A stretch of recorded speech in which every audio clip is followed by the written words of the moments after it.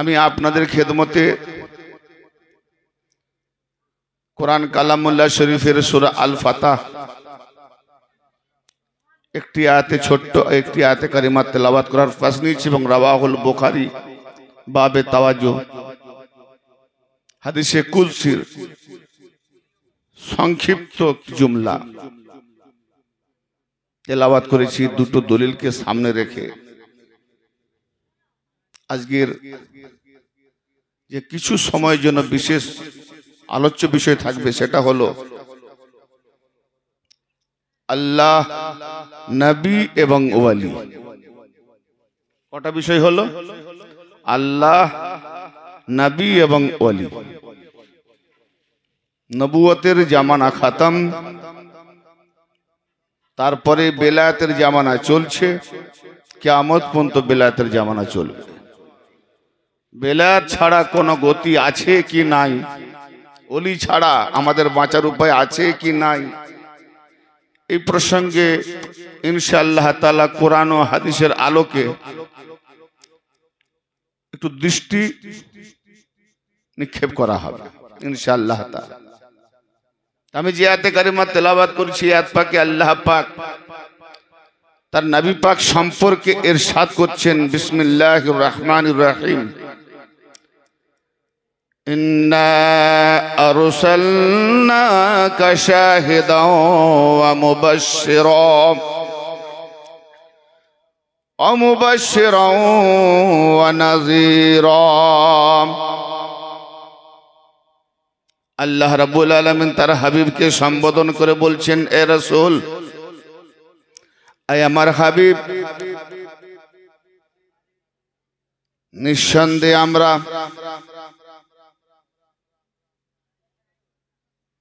নিঃসন্দেহে আমি আপনাকে প্রেরণ করেছি। সাক্ষ্যদাতা স্বরূপ। সাক্ষীদাতা করে সাক্ষীদান। অমুবাসিরান এবং সুসংবাদ দাতা করে।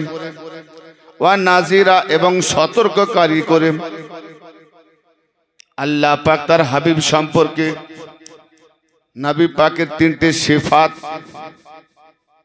উল্লেখ করে তার নাবিকে সম্বোধন করে ইরশাদ করছেন, বলছেন, হে নবী, নিঃসন্দেহ, কোনো সন্দেহ নাই। আমি আপনাকে প্রেরণ করেছি, সাক্ষীদাতা করে, সুসংবাদদাতা করে ও ভয় প্রদর্শনকারী করে, সাক্ষ্যদাতা যিনি কাদের জন্য পাঠালেন? আমার নবী, আপনার নবী, তমাম কায়নাতের নবী। তাদারে মদিনা জনাবে মুহাম্মদুর রসুল্লাহ সাল্লাহ তালা আলহি আলহ্লাম কে আখেরি জামানার উম্মতের জন্য হাদি রহনুমা করে প্রেরণ করলেন। আমাদের জন্য সাড়ে চোদ্দ শত বছর পূর্বে থেকে কেয়ামত পর্যন্ত আমাদের নবী আমাদের জন্য সাক্ষীদাতা স্বরূপ। এ আত্মাকের আলোকে এটাই বোঝা যাচ্ছে। কিন্তু নবী পাকের পূর্বে, আখরি নবীর পূর্বে হজরত আদম শফিউল্লাহ আলাইহি সালাম থেকে নিয়ে হজরত ঈসা রুহুল্লাহ আলাইহি সালাম পর্যন্ত তামাম নবীগণ, রসুলগণ গুজরে গেছেন। তাদের উম্মতের জন্য কি আমার নবী সাক্ষীদাতা নয়? প্রশ্ন দাঁড়াতে পারে। ভাই, কথা বুঝতে পারছেন তো আপনারা? হ্যাঁ না, একটু কিছু বলবেন। বুঝে যাচ্ছে তো? তাদের জন্য কি আমার নবী সাক্ষীদাতা নন? এটাও সুরা আল ইমরানের একাশি নম্বর আয়াতে। পরিষ্কার প্রমাণ করছে, আলোকপাত করছে, কোরআন, যে তাদের জন্যও সাক্ষীদাতা কীভাবে যখন তামাম নবীগণকে কাছ থেকে অঙ্গীকার নেওয়া হয়েছিল, প্রতিশ্রুতি নেওয়া হয়েছিল যে আমি তোমাদেরকে ইলম এবং হিকমত হতে যাহা দিয়েছি তোমরা এক একজন পৃথিবীতে যাবে হেদায়াত করবে তাবলিগ করবে প্রচার করবে। এবং আমার রসুল তোমাদের কাছে আসবে, এসে তোমাদেরকে ওই হিকমত আর এলেমের সত্যায়ন করে দেবে, সত্যবাদিতা রূপে প্রমাণ করে দেবে। অতএব প্রত্যেক নবী শিষ্যতা গ্রহণ করেছেন, প্রত্যেক রসুল সাগরেদ গ্রহণ করেছেন, প্রত্যেক নবী রসুল তারা ছাত্র হিসাবে আমার নবীকে ওস্তাদ রূপে মেনে নিয়েছেন। জোরে বলেন সুবান আল্লাহ কি রূপে? তো আমার নবী যেমন দৈহিক রূপে এসেছিলেন, তাদের জন্য কি সেই জামানায় দৈহিক রূপে এসেছিলেন। না, তাহলে আজকে কি থেকে বোঝা যায় যে নবীদের কাছে আমি রসুল পাঠাবো, হিকমত ইলম থেকে যাহা কিছু দিয়েছি, তাতে তোমাদেরকে সত্যায়ন করে দেবে, প্রচার করার জন্য সাহায্য করবে, এবং তোমরাও তাকে সাহায্য করবে, এবং তার প্রতি ইমান আনবে। নবী মুস্তফার প্রতি ইমান আনার কথাও বললেন। তাহলে আমার নবীর উপরে কলমা পড়ে নবী মুস্তফার উপরে কলমা পড়ে তামাম নবীগণ ইমান এনেছেন। সেই সূত্রে আমার নবী মুস্তফার উম্মত হিসাবে আদম থেকে ঈসা রুহুল্লাহ আলাইহিমুসলাম পর্যন্ত নবীগণও আমার নবীর উম্মত। কিন্তু খুব ভাগ্যের বিষয়, আজকেও কিন্তু আমরা সেই নবীর উম্মতের দাবি করছি। কি জি? নবীগণও আমার নবীর উম্মত। আর ভাগ্যক্রমে আমরাও আমার আখেরি নবীকে পেয়েছি, সেই ভাগ্যক্রমে সেই নবীর উম্মত।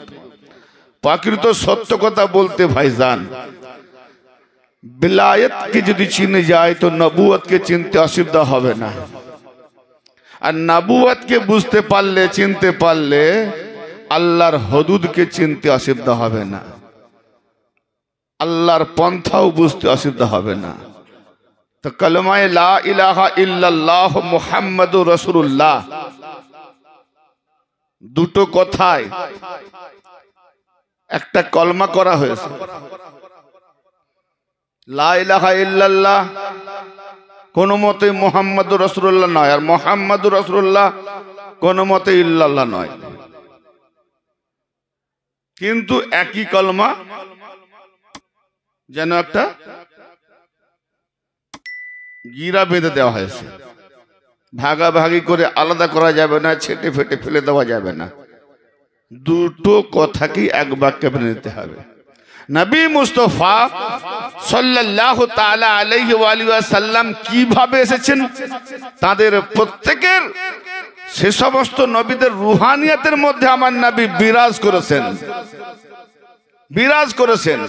তার প্রভু আজকে আমরা যেটা বুঝতে চলেছি কোরআন থেকে, যেটা আলোকপাত আমরা দেখতে চলেছি, নাবিকে সম্বোধন করে বললেন যে, আমি আপনাকে সাক্ষ্যদাতা, শাহেদান, সাক্ষ্যদাতা করে পাঠিয়েছি। তো আজকে আমি টুপি পরলে কেউ দেখতে যদি পায় তো বলবে হ্যাঁ টুপি পরেছে, সাক্ষ্যদাতা হলো। আমি নামাজ পড়ছি, কেউ দেখতে পাচ্ছে যে হ্যাঁ আমি সাক্ষী দিচ্ছি নামাজ পড়ছেন। তিন তলায় কেউ নামাজ পড়ছেন, আমি অপর বিল্ডিং থেকে দুতলা থেকে দেখছি হ্যাঁ উনি ওখানে নামাজ পড়ছেন। কিন্তু ভাইজান, আপনি নামাজের ভেতরে শিরিক করছেন না বেদাত করছেন? মনে মনে কি ভাবছেন? মন আছে না উড়ে গেছে? এটা কি আমি দেখতে পাবো? এটা কি কেউ দেখতে পাবে? কেউ দেখতে পাবে না। তাহলে এখানে সাক্ষ্য, যিনি দাতা, সাক্ষ্যদাতা যিনি, ওনার কাজটা কি? তা আমার নবী মুস্তফাকে আল্লাহ পাক পাঠিয়ে দিয়েছেন। কি বাকে? আলেমুল গায়েব করে একবারে কুল্লি ইলমে গায়েবের ইমান দিয়ে সম্পূর্ণ ক্ষমতা দিয়ে যে আমার বান্দারা ভেতরে করুক আর বাইরে করুক, চাই জাহেরাতে হোক আর চাই বাতেনাতে হোক, জবান কি বলছে এবং অন্তর কি বলছে, রুহু মধ্যে কি তাসির আছে, নাফসের মধ্যে কি তাসির আছে, দেহ কি করছে, নাবি মুস্তফা যদি পুরোটাই না জানতে পারেন, পুরোটাই না দেখতে পারেন, তো আল্লাহ পাক তার নবীকে সাক্ষ্যদাতা করে পাঠানোটাই বেকার হবে, ঠিক না বেটে? না, কথা বুঝিয়ে এলো না। খুব সম্ভব। ভাইটিয়াল কথা আপনাদের বুঝে আসছে না কথা বুঝতে পেরেছেন। আমার নাবিকে যখন আল্লাহ সাক্ষ্যদাতা করে পাঠিয়েছেন আচ্ছা আল্লাহ আলেমুল গায়েব নয়। আল্লাহ জাহের, বাতেন আউ্বাল আখের সমস্ত কি হয়েছে, কি হচ্ছে, কি হবে, এসব খবর আল্লাহ জানেন না। জানেন? তাহলে আমার নবীকে সাক্ষ্যদাতা করে পাঠিয়েছেন, উনি জানবেন না কেমন সাক্ষ্যদাতা হবেন তাহলে আমি নামাজ পড়ছি, আমার নামাজ দেখছেন। আমার নামাজ পড়তে পড়তে মনের ভেতরে কার গ্লানি করছি, কি খেয়াল করছি? তাহলে উনি ওটাও দেখছেন। জোরে সবার আল্লাহ এর নাম হলো সাক্ষ্যদাতা। এর নাম হলো সাক্ষ্যদাতা। হে নবী, রুহানিয়াতের উপরে, নাফসানিয়াতের উপরে, জিসমানিয়াতের উপরে দৈহিক প্রাণ আত্মিক, সর্বদিক দিয়ে আপনাকে সাক্ষ্যদাতার ক্ষমতা করে সাক্ষী দাতা করে পাঠিয়েছি। আপনি যেখানে যেমন সৃষ্টিকুল যা কিছু করবে, ব্যাস। আপনার কাজ সারা আলমের জন্য রহমত দাতা আর আমি আল্লাহ, আমার কাজ হলো সারা আলমকে পাললে রেজেক দাতা জোরে বলেন সুভান আল্লাহ আল্লাহ হলেন রব্বিল আলমিন। তাম জাহানের পালন কর্তা যেখানে যেখানে সৃষ্টি আছে, আল্লাহ পালন করছেন, ঠিক না বেটি? যেখানে যে চায় পাথরের ভেতরে যদি পোকাও থাকে, সেখানেও আল্লাহ রেজেক পাঠাচ্ছে। কথা বুঝতে পারছেন? সেখানেও আল্লাহ রেজেক পাঠাচ্ছে। অতএব যেখানে যেখানে যে যেমন সৃষ্টি তাকে সেখানে যেমন আল্লাহ রেজেক পাঠানোর দায়িত্ব আল্লাহর কাজ, তো যেখানে যেখানে যে সৃষ্টি আছে, যে মখলুক আছে, আমার নবীকে বানিয়ে দিলেন রাহমাত তাল্লিল আলামিন তাম আলমের রহমত দাতা জি নবী মুস্তফাকে আমরা কতটা চিনলাম? নবী মুস্তফাকে আমরা কতটা জানলাম? শাহেদান অমুবাসেরান এবং সুসংবাদ দাতা করে পাঠালাম। আমল করলে নবীর পন্থায় চললে। আহলে বাতে রাসূলের পন্থায় চললে। নবীর গুণে গুণান্বিত সাহাবাদের পন্থায় চললে। কি কি জাজা আছে, কি কি পুরস্কার আছে, কি কি ভালাই আছে? আখেরাতে আমাদের নাজাত পাবো এই এই আমলের দ্বারাতে। এই সুসংবাদ নাবি দিতে এলেন।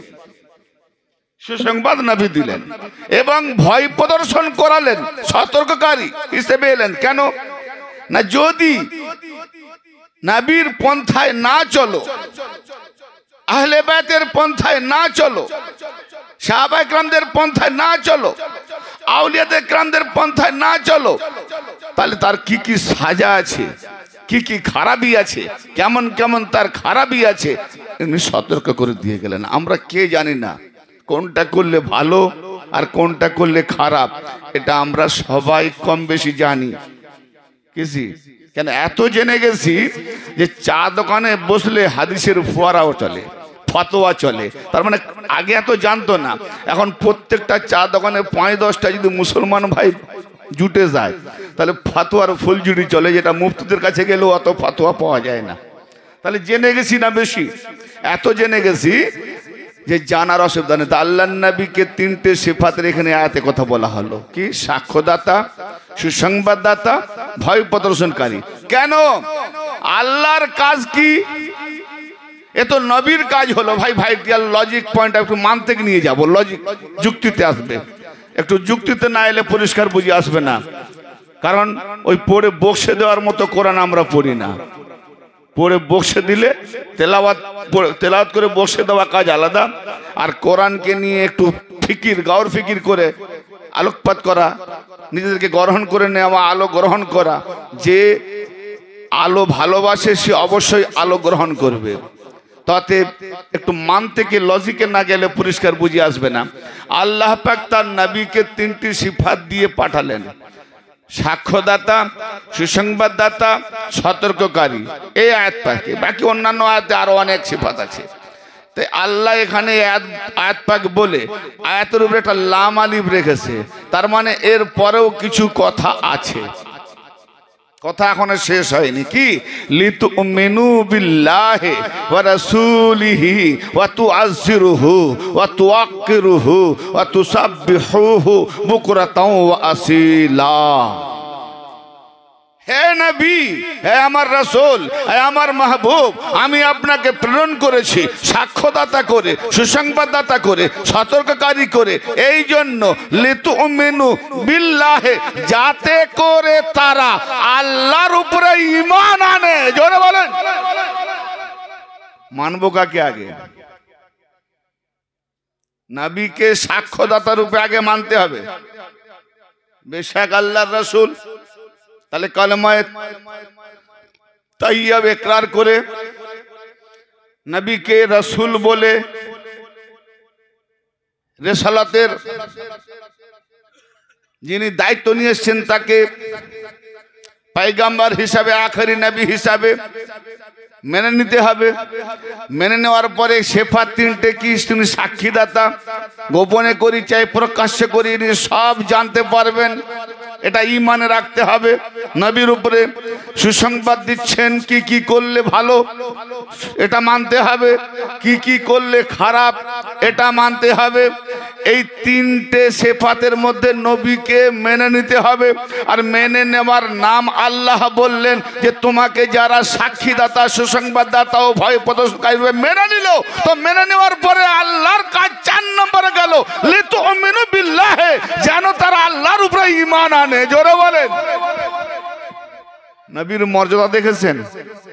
তো নবীর মর্যাদা আল্লাহ পাক এখানে এটাই বলতে চাচ্ছেন যে আমার উপরে ইমান আনারও একটা ওসিলা হলো মুহাম্মাদুর রসুল্লাহ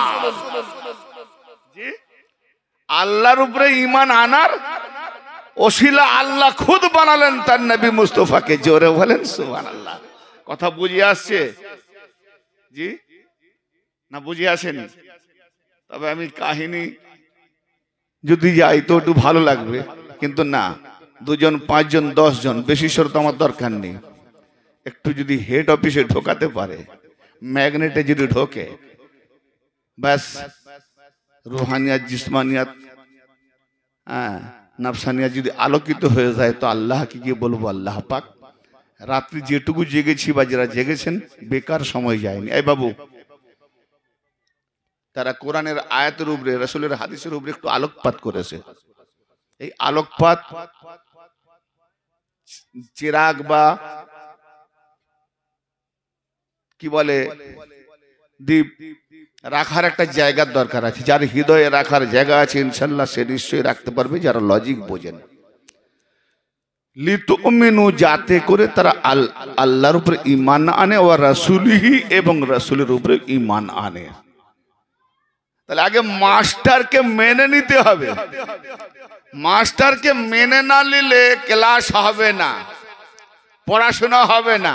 তাহলে আগে মানালেন আল্লাহ তার নবীকে যে আমার নবীকে আগে মেনে নাও।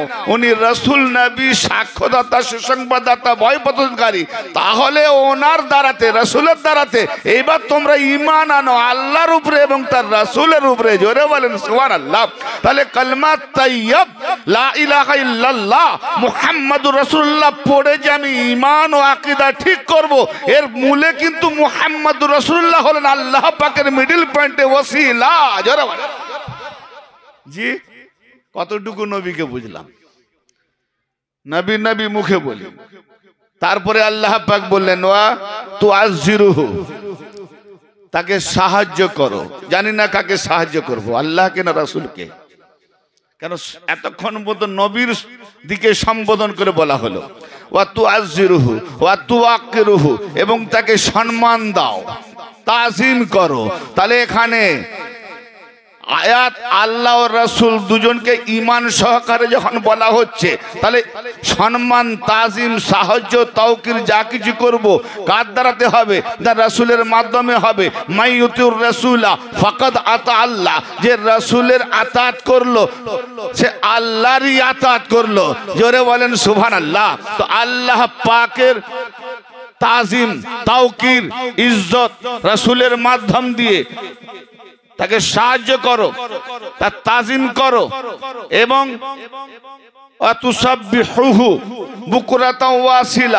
সকাল সন্ধ্যায় তার পবিত্রতা ঘোষণা করো। এতক্ষণ পর্যন্ত বলে দিয়ে আল্লাহ পাক কি বলতে চাচ্ছেন? যে একটা দিক দেখাতে চাচ্ছেন, যে আমার কাছে যদি আসতে চাও, আল্লাহকে পেতে চাও, আল্লাহকে জানতে চাও, আমরা তো আল্লাহ আল্লাহ করছি, আল্লাহকে পেতে হলে, জানতে হলে একটা সোপান আছে, একটা মাধ্যম আছে, একটা ভায়া আছে, ডাইরেক্টলি হবে না, ডাইরেক্ট কোনো মৌলবী মাটি থেকে উঠে পড়েনি যে আমি মা বাপ মা বাপ বিহীন হয়ে গেছি। ও ভাইয়ান সোপান দেখাচ্ছে, তা আল্লাহ পাক এই দুটো আয়াত, আট আর নয়, বলার পরে তার রেজাল্ট কি দিচ্ছেন? যে আমার কাছে আসার জন্য, আমাকে পাওয়ার জন্য, আমাকে চেনার জন্য, আমাকে জানার জন্য, আমাকে বোঝার জন্য, আমাকে, আমার মধ্যে ফানা বাঁকা হওয়ার জন্য, কি? না, ইন্নাল্লাযিনা ইউবাইউনাকা, ইন্নামা ইউবাইউনাল্লাহ হে রসুল, নিঃসন্দেহে যারা আপনার কাছে বাইয়াত করছে, যারা আপনার কাছে বিক্রি হচ্ছে, যারা আপনার কাছে শপথ করছে, যারা আপনার কাছে অঙ্গীকার করছে, ইন্নামা কালমায় হেসার দিলেন। ইউবাইউনাকা এ পর্যন্ত হলো, যারা আপনার কাছে বাইয়াত করছে, শপথ করছে, মুরিদ হচ্ছে, অঙ্গীকার করছে। কথা খারাপ লাগছে বাবু? বুঝতে পারছেন? কথা ভারী হলে একটু মাথা ঝুঁকিয়ে বসে থাকতে হয়, চিন্তার করতে করতে আবার দুটো কথা মাথা দিয়ে উপর দিনে চলে যায়। নিঃসন্দেহে যারা আপনার কাছে শপথ গ্রহণ করছে, রাসূলকে বলছেন আল্লাহ নিঃসন্দেহে আপনার কাছে যারা বাইয়াত করছে, অঙ্গীকার করছে, ইন্নামা। আবার যখন নিজের দিকে আসছেন আল্লাহ পাক, এখানে ইন্না আর এখানে ইন্নামা। নিজের দিকে আসার কারণে। ইন্নামাটা কি? না, এটাকে কলমায় হেসার বলা হয়। হেসার মানে কি? একটা বাউন্ডারি। এই বাউন্ডারির ভেতরে যেমন ভাই ভাই আমরা আছি। ভাই তো অনেকেই আছে। বাপের পাঁচ ভাই। তো বাপের পাঁচ ভাই। কিন্তু পাঁচ ভাইয়ের মতের মিল নাই। কিন্তু আবার পাঁচ পাড়ার পাঁচ ভাই। একই মতে মিল। বন্ধুত্ব একে অপরের জন্য জান দিচ্ছে। এরাও ভাই ভাই। তো এখানে আসবে ইন্নামা। তা যে কথায় চলছিল ভাই। মাঝখানে? মনে আছে তো? একটু বলেন। মনে যখন আছে মার্শাল্লাহ খুব ভালো। আমি তো ভুলে গেছি। মাধ্যম। মাশাল্লাহ আল্লাহ পাক একজন শ্রোতা পেলাম মনে রেখেছে। তাহলে? ভুলে যাওয়া শ্রোতা যখন দেখব, ওয়াজ শেষ করতে তখন যদি কেউ ঘুমোতে যায়, শেষ করতে চান, তাহলে কেউ জবাব দেবেন না, তাহলে বুঝে নেব। যে আপনারা ভুলেননি, ঘুমোতে চাচ্ছেন তাই না? কেন আপনারা ডেকেছেন আমি মেহমান রূপে এসেছি, অতএব অন্তত কিছুটা সময় তো আমাকে মেহনত করতেই হবে, যে কারণে আল্লাহ রসুলের হুকুম হয়েছে, যদি ওনার চাওয়া পাওয়া না হতো তো এখানে আসতেই পারতাম না, সবই কিছু ওখান থেকে। এবার যার যেমন যেখানে, যেমন কালাম যেখানে, যেমন কথা, যেমন সে ইমান তৈরি করতে চায়, সেখানে সেই রকমই সে কথা শুনবে, ঠিক আছে না? সব সব লোকের সব কথা সকলের মাথায় ঢোকে না, আর সবাই নেওয়ার চেষ্টাও করেনি। কারণ যে যেমন পান করতে চায়, তাকে আল্লাহ সেটাই পান করায়। আর যে যেমন খেতে চায়, তাকে আল্লাহ সেভাবে খাওয়ায়। কেউ যদি বলে, বাসি ভাত খাব, বিরিয়ানি দিলে বমি হবে। ঠিক না? কেউ যদি বলে, সাদা ভাত খাব, বিরিয়ানি খেলে আমার গ্যাস্ট্রিক আলসার হয়ে যাবে। আর কেউ যদি বলে, না, কোরমা পোলাও খাব, তাহলে অসুবিধা নেই, সকলের জন্যই ঠিক আছে। কিন্তু খুব ভাইটিয়াল কথা। এত সাধারণ, সর্বসাধারণ যেভাবে ওয়াজ করছি আমি এটা এখানেই বা দু একটা জায়গায় এরকম পড়ে। কারণ ব্যাপারটা হচ্ছে আমি তরিকতের বক্তা, এটা আপনারা হয়তো সবাই জানেন না। শরীয়ত, তরিকত, হাকিকত, মারেফত, খানকাহি বক্তা, বোঝেন তো? কয়েকশো পীর মুর্শিদ বসে বসে ওয়াজ শোনে, ঘণ্টার পর ঘণ্টা। তার মানে কত উচ্চাঙ্গের কথা বলতে হয়। ইয়ানে মাথা থেকে পা পর্যন্ত তিরিশ পারা কোরআন দেখাতে হয়। মাথা থেকে পা পর্যন্ত কলমায় তৈয়ব লা ইলাহা ইল্লাল্লাহ মুহাম্মাদুর রাসূলুল্লাহ দেখাতে হয়। জোরে বলেন সুবান আল্লাহ বলে, হুজুর, এটা আবার কেমন কথা? মানুষের দেহতে এইভাবে আছে। তাহলে হিন্দু, মুসলিম, জৈন, খ্রিস্টান, নাসারা, তাহলে ওটাও কি কলমা লেখা আছে? তাহলে পাক না পাকের প্রশ্ন কি দাঁড়াবে? এই বড় ভাইটিয়াল প্রশ্ন। কিসি পাক না না পাকের প্রশ্ন দাঁড়িয়ে যায় না। তো এখানে একটা কথা বলি। আপনি বা আমি যে কোনো কাগজে যখন তাবিজ লিখি কোরআনের আয়াত লিখি, নকশা লিখি আশাফে কাফের কালাম লিখি, নকশা লিখি বা যে প্রিন্টিং যেখানে কোরআন আয়াতে কারিমা লেখা হচ্ছে প্রিন্টিং হচ্ছে, ছাপানো হচ্ছে, একটা বারের জন্য প্রমাণ দেন যে ওই কাগজকে কি ওয়াশিং মেশিনে ধোয়া হয়েছে, সার্ফ দিয়ে ধোয়া হয়েছে, সাবান দিয়ে ওয়াশ করা হয়েছে, পানিতে ধোয়া হয়েছে, ধোয়া হয়নি। কাগজ কি মেডিসিন থেকে তৈরি হচ্ছে, কোথা থেকে কীভাবে আসছে কীভাবে আসছে, পাক না না পাক, কোন বস্তু থেকে তৈরি, দেখার প্রয়োজন মনে করি না। কিন্তু ওতে লিখে দিই, কাগজ ফ্রেশ আছে, দেখতে ভালো আছে ফ্রেশ লিখে দিই। ওই কাগজে কালাম লিখলে তাবিজ কাজ করে, কোরআনও হয়ে যায়, হাদিসও হয়ে যায়, কাগজটা কাগজ ছিল, ডায়েরিটা ডায়েরি ছিল, খাতাটা খাতা ছিল, যেই কোরআন লেখা হলো, কোরআন প্রিন্টিং হলো, আর ডায়েরি বলবে না, আর খাতা বলবে না, বলবেটা কি? কোরআন। তাহলে বলবে কোরআন। বাতাসার দোকান থেকে কিনলেন, ততক্ষণ পর্যন্ত বাতাসা, যেই মসজিদ বা মাজারে গেল, বা তারপরে বেরিয়ে এলেই হয় সিন্নি।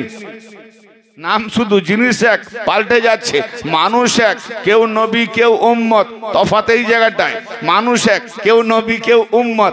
জি, তো নসিবের উপরে কত বাতাসা হরিলুট হয়, পায়ের তলায় চলে যায়, কত ফুল বাইজিখানায় যাচ্ছে, কত ফুল নেতাদের পায়ের তলায় যাচ্ছে, আর কত ফুল অলি আল্লাদের পায়ের তলায় যাচ্ছে, আর কত ফুল বাসঘরে যাচ্ছে, আর কত ফুল বনের ফুল বনেই ঝরে যাচ্ছে।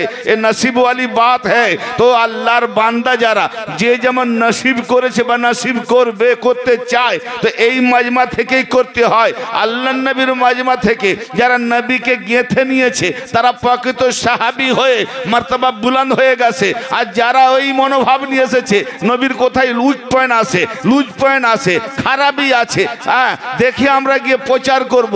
আর এই বিনাশ করতে হবে দিনে মোহাম্মদীকে, তো তাদেরকে কোরআনের ভাষায় মোনাফেক বলা হয়েছে, অথচ নবীর পেছনে নামাজ পড়তো।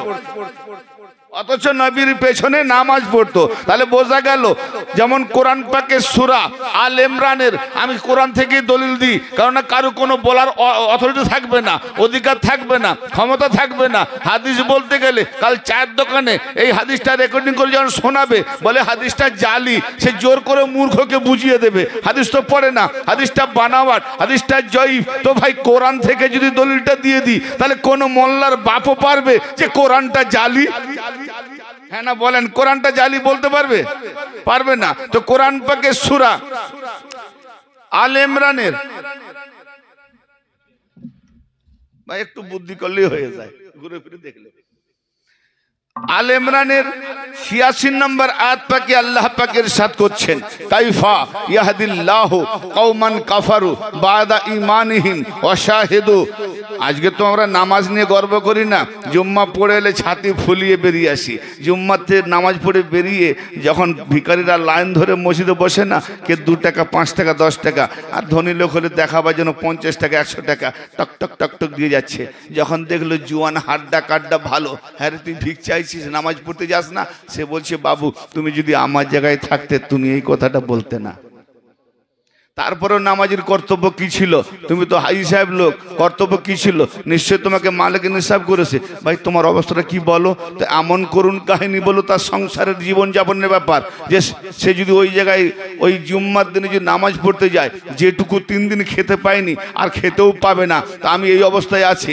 এবার বলেন হাই সাহেব যদি খোঁজ নিত, বাড়িতে ডেকে খাওয়াতো, কিছু টাকা দিত, বলে আচ্ছা বাবা, তোর জায়গায় তুই থাকে, মুই নামাজ পড়ছি হাই সাহেব ঘরে যাই। কি? নামাজ পড়ছেন তো? এখন বলুন, নামাজি আর বেনামাজি। এ বেনামাজি। আর উনি নামাজ। নামাজির কাজ কি? কাঁধে কাঁধ মেলানোর কি দরকার? ইমাম সাহেব বলছে, কাঁধে কাঁধে মিলিয়ে দাঁড়াও, ফাঁকা দাঁড়াবে না। ফাঁকা না থাকে ওর কেন হুজুর বলে শয়তান ঢুকে যাবে? আচ্ছা কতটা? বলে একদম কাঁধে কাঁধ মিলিয়ে দাঁড়াও, ফাঁকা রেখো না। এতটা ডিস্টেন্স না হয়, তিন চার ইঞ্চি না মিলিয়ে দাঁড়াও, ভাই ভাই বন্ধন। হৃদয়ের বন্ধন। ঐক্য বন্ধন সব আমরা আল্লাহর অনুকূলে। হ্যাঁ? ফাঁকা থাকলে? ওই যে কেতাবে লেখা আছে, ফাঁকা থাকলে শয়তান ঢুকে যাবে। আচ্ছা করোনা কালে দুপুর ছাড়া দাঁড়িয়েছিলেন না? করোনা কালে বাউন্ডারি, এখানে দাঁড়াবে, দুপুর দূরে ওখানে দাঁড়াবে। তো তখন শয়তান ওই সুযোগ নেয়নি? না শয়তানটা করোনা হয়ে গেছিল নাকি? কি করবে? তখন কোনো মলি সাহেব ফতোয়া দেয়নি? যারে এতটুকু ফাঁকা থাকলে শয়তান ঢুকে যাবে, কিন্তু বড় বড় ফাঁকা। হিসাব কি বলে? বলে, মজবুরি। বলে, মজবুরি। হ্যাঁ? কার মজবুরি? শয়তান তো মজবুরি দেখবে না। এই ছেলেগুলোকে একটু সরান্ত পাঠিয়ে দেন। তো বেরাদার মিল্লাত, এখানে ফাঁকা থাকার যে কথাটা নবী পাকের আসলে পাঁচ ওয়াক্ত নামাজ, পাঁচ নামাজ পঞ্জে গানা, পাঁচ এগানা, পাঁচ আপন, এইগুলোকে বোঝার জন্য, জানার জন্য কামেল পীরের দরকার হয়, কামেল অলির দরকার হয়। ব্রাদার মিল্লাত, এগুলো জানার, বোঝার জন্য অলি যখন দরকার, সেখানে কি বুঝব গিয়ে? অলির দ্বারে গেলে পাঁচ পাড়ার পাঁচ ভাই, আপন ভাই, পীর ভাই হয়ে যায়, ঠিক না বেঠি এক পীর ভাই জন আরেক পীর ভাই জানও দিতে চাই অর্থও দিতে চায়। কারণ আমার মুর্শিদ ওকে পছন্দ করে, আমাকেও পছন্দ করে। সে ভাই বলে, আমার যে অলিকে ভালোবাসে, অলির ভালোবাসাতে অলির মুরিদ ভাই ভাই ভাই, ভাইকে ভালোবাসে। ইন্নামাল ইন্নামাল মুমিনরা আপোষে ভাই ভাই ভাই তো অনেক আছে। ভাই তো অনেক আছে। মোমেনরা ভাই ভাই। তাহলে মোমেনরা ভাই ভাই এখানে ইন্নামা দিয়েছে। ইয়ান আল্লাহ তার রসুল ওলি মাননেওয়ালা মোমেন ভাই ভাই। এ ভাই ওজন আসমানে, আর বাপের বেটা পাঁচজন ভাই ভাই, এ ভাই জমিনে। ও ভাই।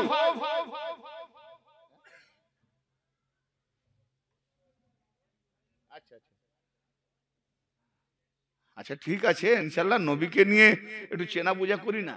নবীর ভেতরে কি আছে একটু দেখি না আমরা নবীকে চিনতে পারলে নবীর মধ্যে যা আছে ইনশাল্লাহ একটু একটু সব তো বলা যাবে না কিছু না কিছু একটু নবীর ভেতর থেকে নিয়ে নেব ও মোহাম্মদ है नूर खुदा है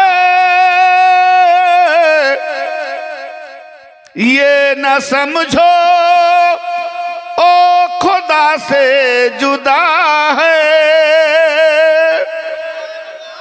वो मोहम्मद खुदा भी नहीं और खुदा से जुदा भी नहीं होगा क्या सवाल जब है तो जवाब तो जरूर होगा প্রশ্ন যখন আছে জবাব তো অবশ্যই হবে মোহাম্মদ খোদা নয় তাহলে জুড়ে দেওয়া হলো তো লাইলাহা ইল্লাল্লাহর সঙ্গে মোহাম্মদকে জুড়ে দিয়েছে মোহাম্মদ রসুল্লাহ লাইলাহা ইল্লাল্লাহ আলাদা কলেমা মোহাম্মদ রসুল্লাহ কি আরেকটা দুটো মিলিয়ে এক কলেমা এতেও বারো ওতেও বারো ওজন বরাবর এতেও নোক্তা, নিচ নোক্তা মানে খুঁটিনাটি দাগ। এতেও নোক্তা নাই, ও তো নোক্তা নাই। বাহ। তাহলে নক্তাবিহীন দুটোই ওজন এক। তাহলে কি বরাবর আল্লাহর মতো বলব? সাংঘাতিক ব্যাপার। হ্যাঁ? আল্লাহর মতো বললে শিরিক, আলাদা করলে কুফরি। মুশকিল। লা ইলাহা নাই কোনো মাবুদ ইল্লাল্লাহ। একমাত্র আল্লাহ ছাড়া। আল্লাহর ছাড়া কিছু নাই। লা মৌজুদা ইল্লাল্লাহ। এটাই এখন বড় বড় মুফতি মুহাদ্দেশ বড় ফেকাহাবিদ ফাকি মুহাদ্দিস। সব এইখানে পরীক্ষায় পাস ফেল বোঝা যাবে। কি? না লা মাউজুদা ইল্লাল্লাহ, আল্লাহ ছাড়া কিছুই মজুদ নাই। জমিনের মালিক তুমি আল্লাহ, আসমানের মালিক তুমি আল্লাহ, সকলের মালিক তুমি আল্লাহ, লা মাউজুদা ইল্লাল্লাহ। আল্লাহ ছাড়া কিছুই মৌজুদ নেই। আল্লাহ ছাড়া কিছুই জমিনে বা আসমানের জমিন কিচ্ছু নেই। তাহলে বাকি কি বোঝা গেল? যে আল্লাহ একমাত্র আছে, আর বাকি কিছু নাই। তাহলে এখানে তো ফেল এখন আল্লাহ ছাড়া যদি আর কিছু থাকে, এ ধারণা যদি, ভালো করে বসেন আমার কথা। ভাই, একটুখানি ঘেঁষা দিচ্ছি। কাকে বলে তরিকত? তরিকত মানে পন্থা। পন্থায় না গেলে কাজ, ওই শুধু ঠোকা বসা উঠাও আর দাঁড়ানো হবে। ওই ঠোকা বসা উঠা ঝোকা হবে। ব্যায়াম যাকে বলে। এত সহজ নয়। জুম্মার নামাজ পড়ে নিয়েছি, পাঁচ অক্ত পড়ে নিয়েছি, তারাবি পড়ে নিয়েছি, রোজা করে নিয়েছি। তো কাইফা ইয়াহদিল্লাহু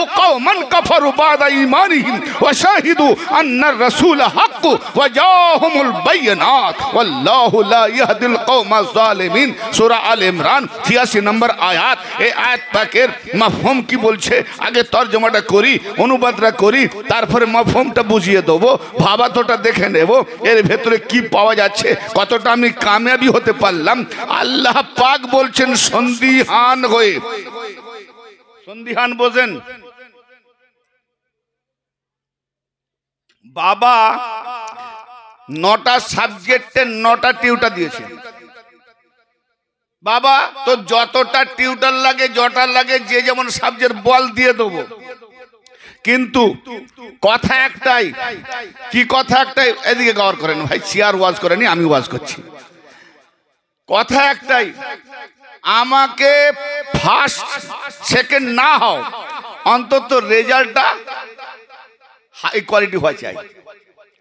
আমি তোমাকে বলছি না যে তোমার সব সাবজেক্টে সমস্ত টিউটার দেওয়ার পরে তোমাকে ফার্স্ট হতে হবে, কেন এটা মেধার উপরে কাজ মেধা যার যেমন, হাজার টিউটার দিলেও হয় না, আবার এক টিউটার না হলেও ফার্স্ট জি। তো কথা হচ্ছে ভালো কোয়ালিটির নাম্বার দেখাতে বলে, আয় বাবা, সব টিউটার দিল। পুরো বছর তার পেছনে যা লাগল খরচা করল। পরীক্ষার যখন রেজাল্ট এলো, গোল গোল গোল গোল। হ্যাঁ? ফেল একে বলা হয় সন্দিহান। হায় হায়। তোকে আর মানুষ করতে পারলাম না। আফসোস! ঠিক এরকম একটা এক্সাম্পল আল্লাহ পাক বলছেন, কাইফা ইয়াহদিল্লাহ? কমান। এই বাবু, এই।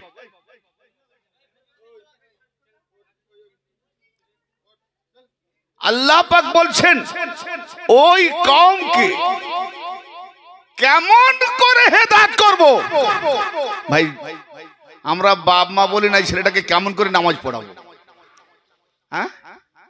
আমরা বাপ মা বলি না যে বৌমাটাকে কেমন করে বসতায় আনব যাতে ঝগড়া ফাসাদ না হয়। চেষ্টা করি হাজার। তা আল্লাহ পাক বলছেন, ভাই, আমি কোরআন বলছি, চা দোকানে আর ফাতোয়া দেওয়ার মৌলবি পাওয়া যাবে না যে জালি হাদিস বলেছে। আমি কোরআন দিচ্ছি। কোরআনের আয়াত, এটা হাদিসের রাওয়ায়াত নয়। আল্লাহ পাক বলছেন, কেমন করে ওই কমকে হেদায়েত করব? আল্লাহ বলছেন।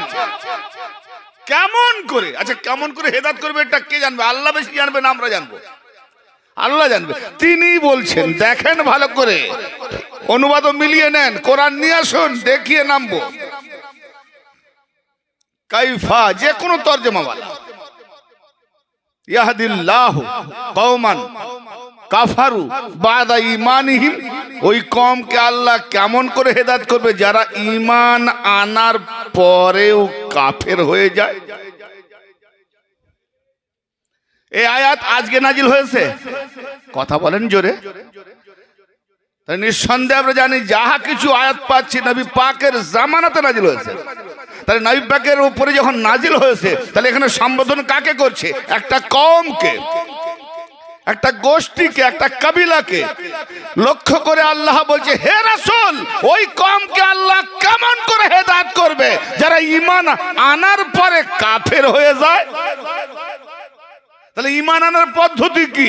নবীর কাছে এসে কালেমা পড়েছে, নাবির পেছনে নামাজ পড়ছে, নাবির বাতলানো উসুল মোতাবেক রোজা করছে, উমরাহ করছে, আখরিতে হজ, নবম হিজরি।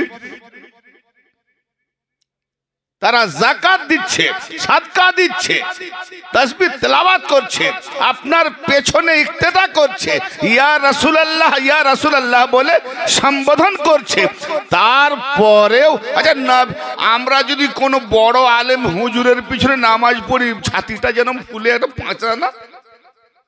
হ্যাঁ না বলেন না। আশা করি না। জামা মসজিদের ইমাম সাহেব আমাদের এলাকায় আসছেন দিল্লি থেকে। সবাই চাইবে, যত মসজিদ আছে, ও মসজিদে বাবু কোন রকম একটা ছোট জামাত করলে দু তিনজনকে নিয়ে, আমরা ওই জামা মসজিদ দিল্লির ইমামের পিছনে নামাজ পড়ব। কোথায় যেখানে আসে উনি সেইখানে গিয়ে, কি জি? নামাজ পড়ার পরে ও ভাগ্যটা কত ভালো। জামা মসজিদের ইমামের পেছনে নামাজ পড়লাম। একটা মাইয়াতকে কেন্দ্র করে কুড়ি পঁচিশ লাখ লোকের জানাজা হলে ও কি নসিব ভালো? এত লোকের বড় জামাত। আমার ইমাম হোসেন আল সাল্লামের জামাতে কত লোক হয়েছিল বাবা? নবীর বেটি খাতুনে জান্নাতের জানাজাতে কটা লোক হয়েছিল বাবা? তাহলে এত সাহাবা ছিল, একটু হিসাব করে বলেন, তারা তাহলে ভাগ্যবান নয় যারা নবীর বেটি ফাতেমার জানাজাতে শরিক হয়নি? কথা আমার বুঝতে পারছেন? মাথা ঘুরে যাচ্ছে নাকি? কিতাব, হাদিস, ইতিহাস, তারিখ, হাদিস সেখান থেকে বলছি। ইমাম হাসান সাল্লামের জানাজাতে কত লোক শহীদ হয়েছিল? এই শরিক হয়েছিল জানাজায় নানা জানার পাশে কবর দিতে নিয়ে যাচ্ছে, তাতেও তীর বিদ্ধ করে কবর দিতে দেওয়া হলো না নানা জানার পাশে। জানাতুল বাকিতে ইমাম হাসান বলেই গেছিলেন যে আমার লাশকে নিয়ে যাবে, নানা জানার পাশে দাফন করবে, যদি না দেয়, বাধা বিঘ্নতা আসে তার মানে একটা সন্দিহান আছে। যেটা বাধা বিঘ্নতা আসার। তাহলে তোমরা ফেতনা ফাসাদ করো না, আমার লাশকে নিয়ে, আমার মায়ের পাশে জানাতুল বাকিতে দাফন করে দেবে। কি জি? নানার পাশে থাকার জায়গা দিল না, তার জানাজাতে কত লোক হয়েছিল? তাহলে গর্ব ওই জায়গায় হয়, পন্থায় চললে, চায় দু হাজার নয়, দু লাখ নয়, দু কোটি নয়, দুজন যদি চলে, তাকে নিয়ে আল্লাহ গর্ব করে। দু দশ লাখ, দু কোটি, দশ কোটিকে নিয়ে আল্লাহ গর্ব করে না। করে না গর্ব। আল্লাহর নবী বলেছেন তাফতারিকু উম্মতি আলা সালাসি ওয়া সাবিনা মিল্লাতান কুল্লুহুম ফিন্নার আমার উম্মতের মধ্যে 73টা ফিরকা হবে। কুল্লুহুম ফিন্নার, প্রত্যেকেই জাহান্নামী হবে, ইল্লা মিল্লাতান ওয়াহিদাতান। একটি মিল্লাত ছাড়া। তাহলে একটিকে মাইনাস করলে বাহাত্তর। তাহলে নবী বললেন, খ্রিস্টান, ইহুদি না সারা নয়। আমার উন্মতের মধ্যে বাচক দিয়ে বললেন, আজকে যদি হাদিসটা না বলতেন, আনা নি তাহলে এই হাদিসটাকে অপব্যাখ্যা করে বলতো, খ্রিস্টান, ইহুদি, নাসাদেরকে নিয়ে বলা হয়েছে। না না না। হ্যাঁ? তার তরিকু উম্মতি উম্মতি, আমার উম্মত। তো খ্রিস্টান কি নবীর উম্মত? না। উম্মতি। আমার উম্মত। তাহলে উম্মতের বাহাত্তরটা জাহান্নামি, একটা নাজাদগামী কালু মান হিয়া ইয়া রাসূলুল্লাহ ইয়া রাসূলুল্লাহ ওই দলটি কারা? যারা নাজাত প্রাপ্ত হবে।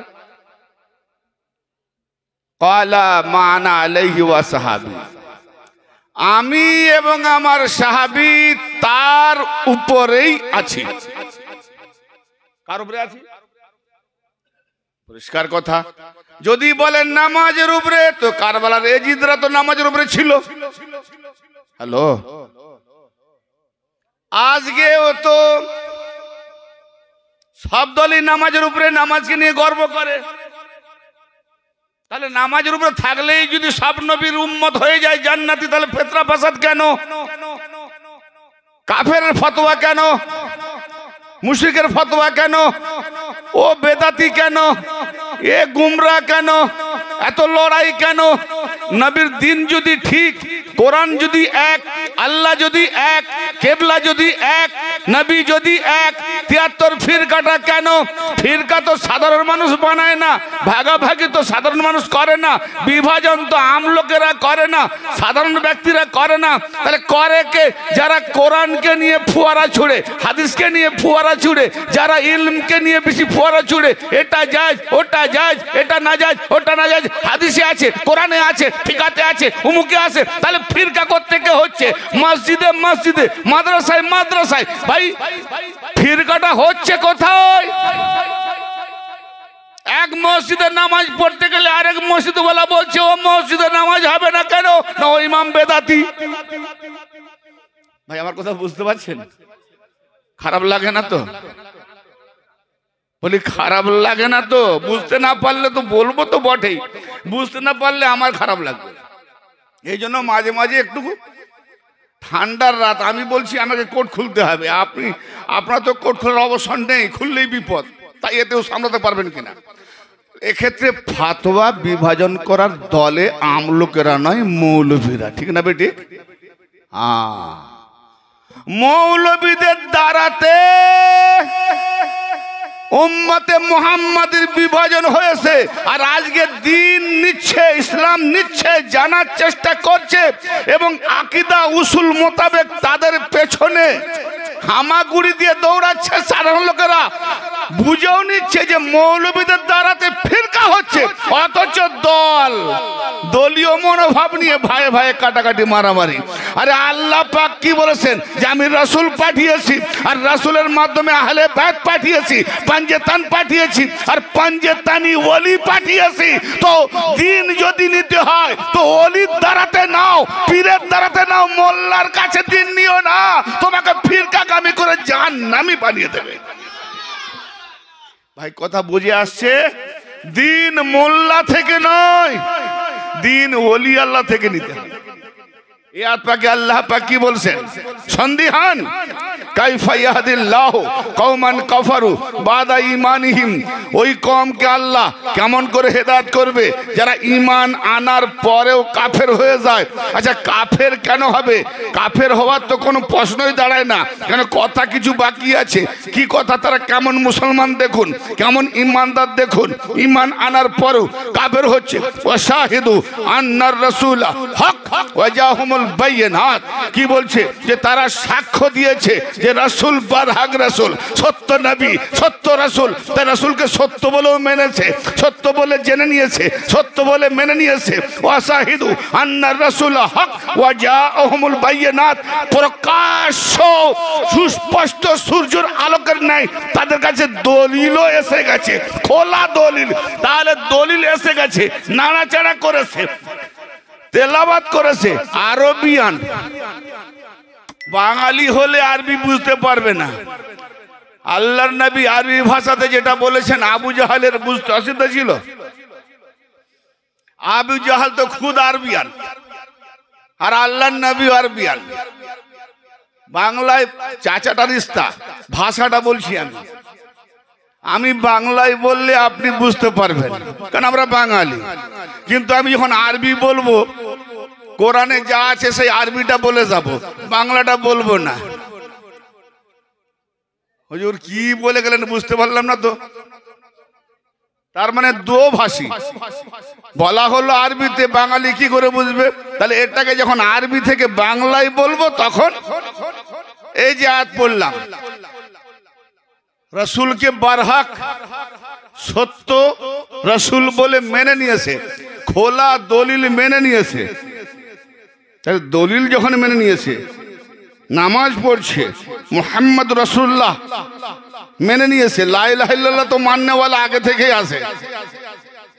বুধ পূজারীরা, মুশরেক কাফেররা এমন কোন একটা ব্যক্তি আরবের মধ্যে ছিল না ইতিহাসে পাই যে তারা আল্লাহকে মানতো না।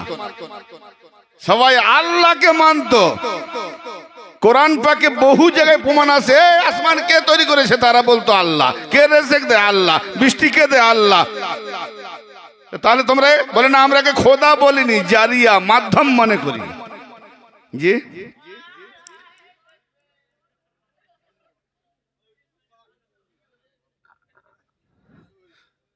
একটু বুঝিয়ে বসাও বাবু, তোর জন্য আমাকেও পাগলা করে দেবে। যেখানে যেমন লোক তাকে সেখানে রাখা দরকার। পাগলাকে পাগলা কারও দে। জি। তো ভাইরা আমার,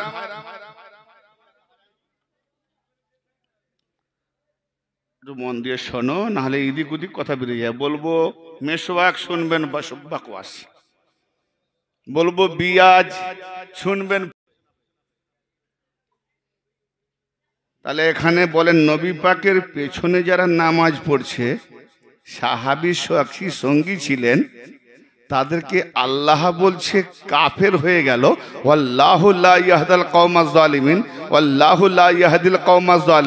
আর আল্লাহ রেজাল্ট কি দিচ্ছে? রেজাল্ট যে জালিম কমদেরকে আল্লাহ হেদায়াত করেন না। তো জালেম মানে যারা জুলুম করে, অত্যাচার করে। জুলুমটা কি করল? না নবীকে মানার মতো মানলো না। নবীকে মেনেছে, নবীর পন্থা মানে না। আল্লাহকে মেনেছে। আল্লাহর পন্থা মানে না। তো নবীর পন্থা কি? না, আল্লাহ নবীর পন্থা। নবী যেটা দিয়ে গেছেন, যেমন নবী কোরআন দিয়ে গেছেন। বলেছে নাকি যে কোরআন যখন দিয়ে দিয়েছি, আর আমার কাছে আসতে হবে না? এরকম দলিল আছে? নবী তখন বলে গড় করেন আমার কাছ থেকে, নবী কোরআন দেওয়ার পরে বলেছিলেন কাউকে, কোনো রবায়াত আছে, কোনো দলিল আছে যারে কোরআন তো দিয়ে দিয়েছি, আবার আমার কাছে আসছো কেন? দূর দূর দূর থেকে কত আজমি মানে আরবি ভাষা বিহীন অন্যান্য ভাষীগণ, তারা ওই ইন্ডিয়ারও সাহাবি ছিলেন নবীর জামানাতে। ইন্ডিয়ারও সাহাবি ছিলেন দক্ষিণ মালাবার রাজ্যে, তার প্রমাণও আছে। অতএব ইন্ডিয়াতে তখন পণ্যদ্রব্য ব্যবসা বাণিজ্য চলতো।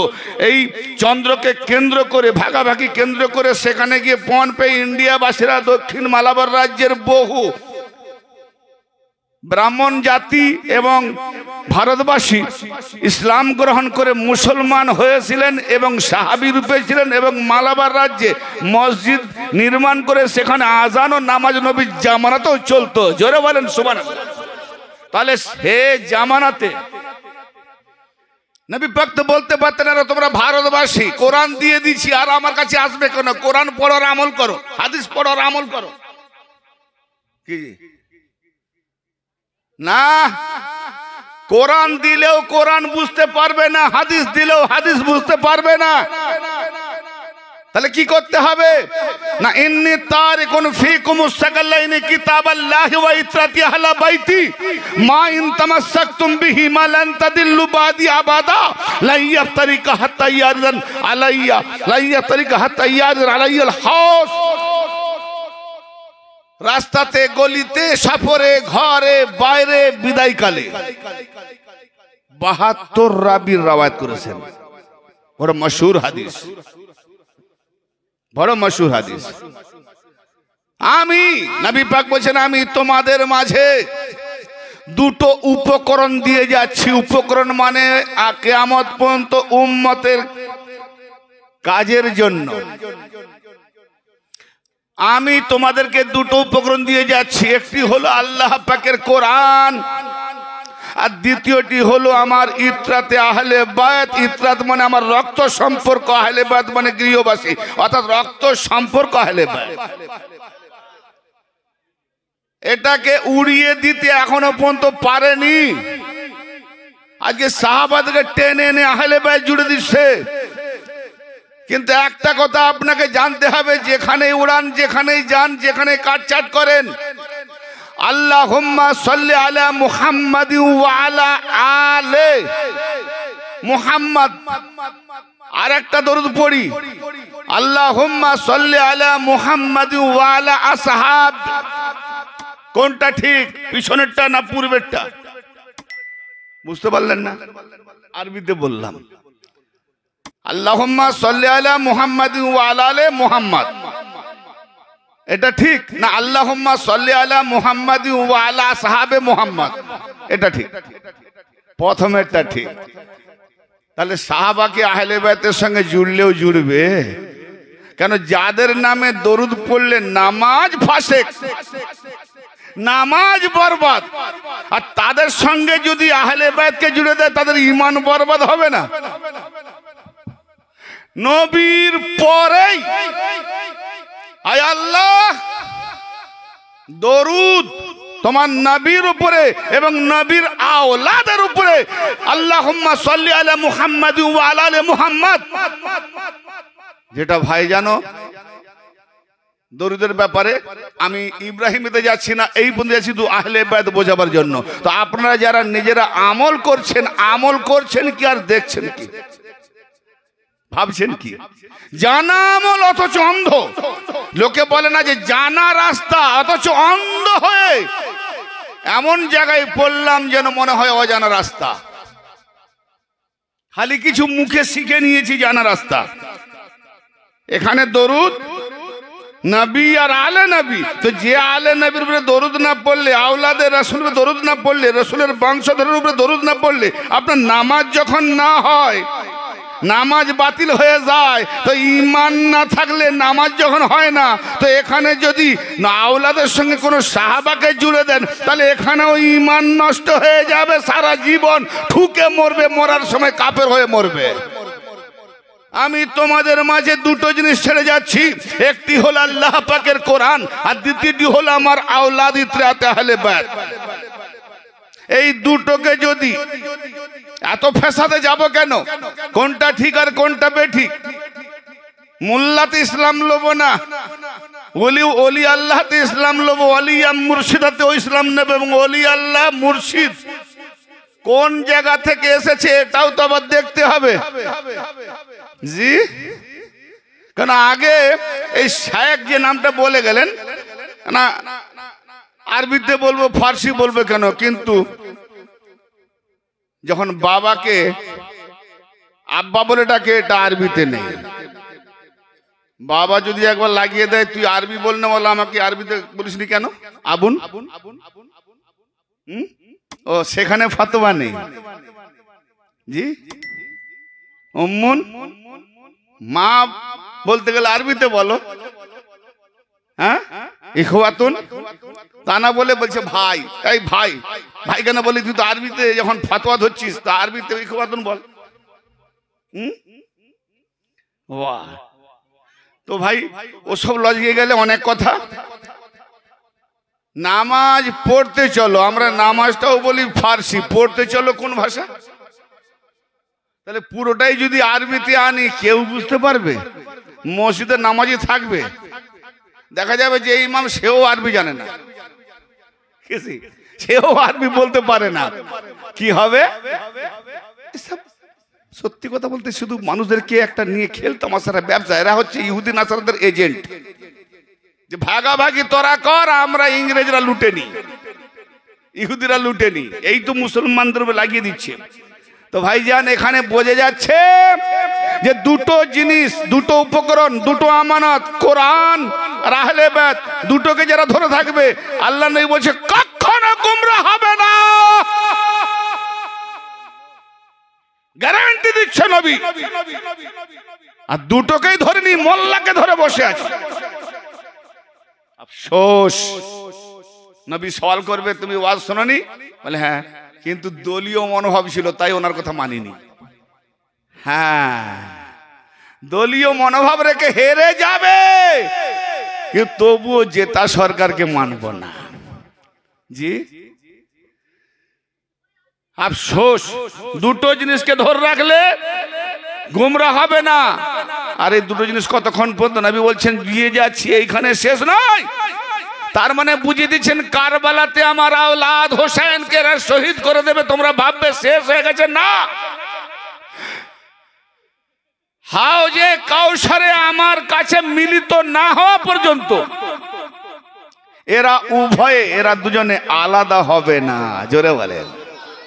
আচ্ছা বলেন, কোরআন আছে না নেই? ভাই, কোরআন আছে না নেই? আহলে বেদ কোরআন দেখতে পাচ্ছি তো? আহলে বেদ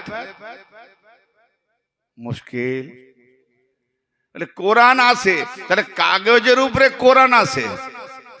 আর আহলে বেদ তো কাগজের উপরে নেই। আহলে বেতের চর্চা আছে, আহলে বেতের জিকির আছে, আহলে বেতের কথা আছে। আর ওই আহলে বায়াতের কেতাবগুলো পড়লেই আবার বাতর ফিরকার মৌলই বলবে, ওই আহলে বায়াতের কেতাব পড়ছে শিয়া হয়ে গেছে। বিপদ। শিয়া বলে মানুষদেরকে আগে ভোট থেকে সরে, তার মানে গুমরা করবে। শিয়া বললেই উত্তর যেখানে না দিতে পারে, সেখানে একটাই ফতোয়া দেয়, শিয়া হয়ে গেছে। দেখবেন আমরা আহলেবাতে যখন জিকির করি, যখন কোনো মোল্লা মৌলবী উত্তর দিতে পারেনি ফাতোয়া কি হতো শিয়া হয়ে গেছে। তারপরে উত্তর নাই।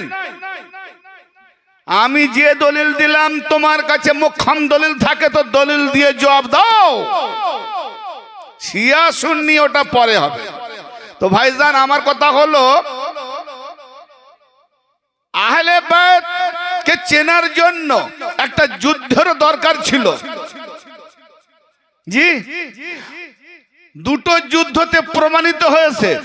কারবালাতে ইমাম হোসেন আল সাল্লামের মস্তক মোবারক, বল্লমের আগায় বাহাত্তরটা মস্তক, ইমাম হোসেনের মস্তক আগে ঝুলিয়ে যখন নিয়ে যাচ্ছে, আর নবীর ঘরের মহিলাদেরকে আজকে পর্দার ওয়াজ করছে মুল্লারা। আর নবীর ঘরের মহিলাদেরকে, নবীর ঘরের ফ্যামিলিদেরকে, মাওলা আলী পাকের বেটি, ইমাম হোসেনের বিবি, ইমাম হাসানের বিবি, আব্বাস আলমদারের বিবি, আহলে বাদে রসুলের ঘরানা বৌমা আর কন্যাগণ, নবীর ঘরের মহিলা, তাদের কাছ থেকে চাদর ছিনে নিয়েছে, পর্দা ছিনে নিয়েছে, আর চাবুক মারতে মারতে খালি পায়ে উত্তপ্ত গরম বালির উপর দিয়ে হাঁটি হাঁটিয়ে নিয়ে যাচ্ছে। শুধু কারবালা থেকে ইবনে জিয়াদের বাড়ি পর্যন্ত চুরাশি কিলোমিটার। এই চুরাশি মাইল। যারা পর্দা ছিঁড়ে নিয়েছিল ওরা বজরং ছিল। ভাইয়া, পাক্কা নামাজি ছিল। আর যারা এজিদের দলে ছিল, ওই চাষবাস করার লোক ছিল না। ক্ষেত খামারে কাজ কাম করার লোক ছিল না। বাইশ হাজারের মধ্যে কুড়ি হাজারের বেশি সব বড় বড় মুক্তি মহাদেশ ছিল। তাহলে মুক্তি মহাদেশ কোথেকে হয়েছে? গর করবেন ভালো না লাগলে বন্ধ করে দেবো কথা শোনেন ভালো করে খালি আমরা একটা নেশায় ভরে গেছি দলীয় মনোভাবে ঢুকে গেছি নিজে বাঁচবো কেমন ভাবছি না যে আমার আখেরাত কি হবে আজকে যাকে আমি আপন করেছি কাল যখন ওকে জাহান্নামায় ফেলবে তোর ইমাম কোথায় তোর চালক কোথায়? তোকে যে পরিচালনা করেছিল? ভয়ে কাঁপুনি দিচ্ছে। অ্যারেস্ট হওয়ার ভয়ে। তোর যখন আগে ছিল, তুই ওকে অনুসরণ করেছিস। সত্য জানার পরেও। সত্য না জানা ছেড়ে দেবে। আরে আল্লাহ তো জানে। সত্য জেনে গেছে, কানে পৌঁছে গেছে, কোনটা ঠিক আর বেঠিক। যে মৌলবি আহলে বাদকে সাহাবির থেকে নিচে নামাবে, পিছন ছাড়ো তার। যে নামাজি আহলে বায়াতের নবীর পরে থেকে স্থান দেওয়া হয়েছে আর নামাজ থেকে বেরিয়ে আহলে বায়াতকে সাহাবির পরে স্থান দেবে। কত বড় মুনাফেক। আর এখানে মোনাফেকের জিকির করা হয়েছে। অর্থাৎ নবী ও রাসূল আল্লাহর সবকিছু দলিল পাওয়ার পরেও ভেতরে কুফরি। মানে ইমান নাই আর বাইরে ইমানের ঢং। একে বলা হয় মোনাফেক। আর মোনাফেককে কোরআনের ভাষায় বলা হয়েছে নিজের নফসের উপরে। জেনে বুঝে ও জাহান্নামায় পাঠাচ্ছে। অতএব যে জেনে বুঝে, নিজের উপরে অত্যাচার করে দুনিয়ার স্বার্থে, এ হলো সব থেকে বড় জালেম। এই জালেম কওমদেরকে আল্লাহ কখনো হেদাত করেন